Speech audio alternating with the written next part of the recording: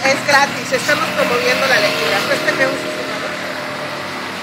Le voy a poner este en el oído para que le llegue la, la esta. ¿Lo dice? ¿Me escucha?